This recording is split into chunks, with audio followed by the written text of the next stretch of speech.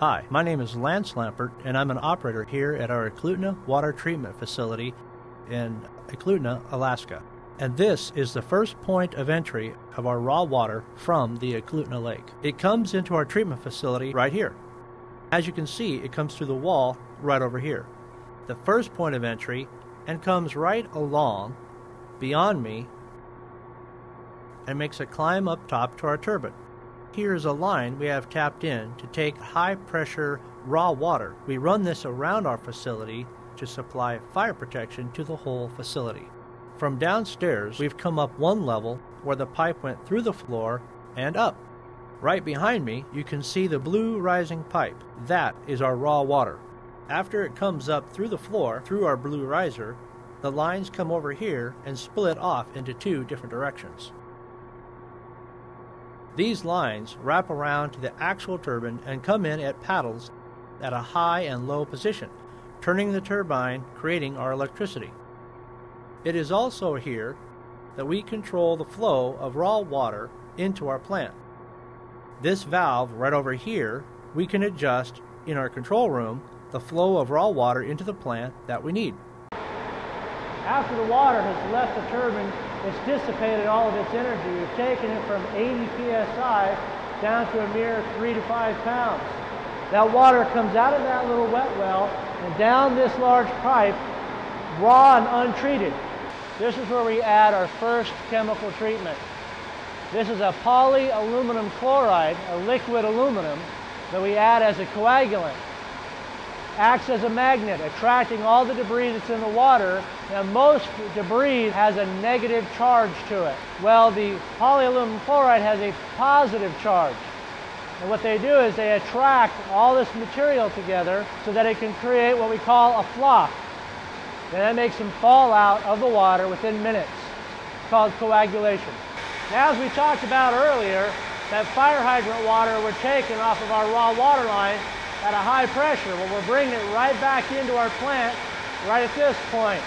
We take that 80 psi water, reduce it down with this pressure regulating valve to 25 pounds, and send it right into our pipe.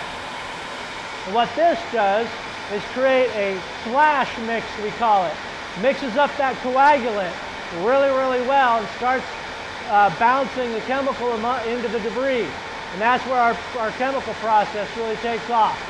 This water we're checking here right now is directly after our coagulation process. The cloudiness of the water is due to the debris that's in the water, the dirt, the glacial silt that comes from the lake. Now we measure the cloudiness of this water in units called turbidity units. And that kind of gives us an indication of how to treat the water. This water right here is at about 20 units of turbidity. Now, this is summertime. Now, in the middle of winter, our turbidity from the lake is right around one. So there's a dramatic difference between the amount of debris in the summer and the amount of debris in the winter. Now, right after the coagulation process, the water comes up from underneath this floor and enters a trough that goes all the way down to the other end of the building. Now, from this trough, the water is dispersed through eight different pipes. And that enters us into the next stage of our treatment process, flocculation. Right behind me, you'll see these green motors and these square boxes. Well, below the concrete, in the water, are large paddles mixing together all the debris that's in the water along with our chemical. There are three stages of these motors that continue mixing. And then at the end of that process, we enter into our sedimentation process. It is here in the sedimentation process where all the debris that has been collecting together, becoming bigger and heavier, is starting to settle out. And that's very important in our process. This gives us an opportunity to remove any possible bacteria or viruses that might be in the water. Those viruses and bacteria are very small and they'll attach themselves to extremely small debris. And it's in this process that we get a chance to grab a hold of them settle them out and remove them from the water. We have rakes in our basins behind us that bring all the debris that's settled out right over here to this pit below me. Well, this telescoping valve right here opens up and uses the water from the basins to flush all the debris out of here. we send that water right on down to our lagoons. Now the debris has a chance to settle out in the lagoons. And we have pumps that take the water, pump it right back to our raw water supply, and we retreat that water. After the sedimentation process is done, we move to our next step of treatment, and that is filtration. Filtration is taking the water and running it through a material to remove the debris out of the water. That material we filter the water through is made up of anthracite coal, which is on the very top. Then below that is a layer of sand, and below that is a layer of gravel and rock. As the water travels through these materials, the debris in the water adheres to the anthracite coal and the sand, removing it from the water.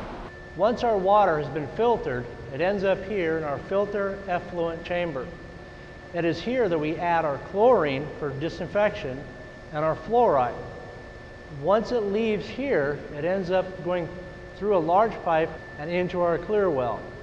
We have this storage facility so that we can meet the demands in the distribution system. And now the level of the water changes in this facility throughout the day. And as you can see right over here, we're about 24 feet. Normally we keep this from 20 feet upwards to 29, 30 feet.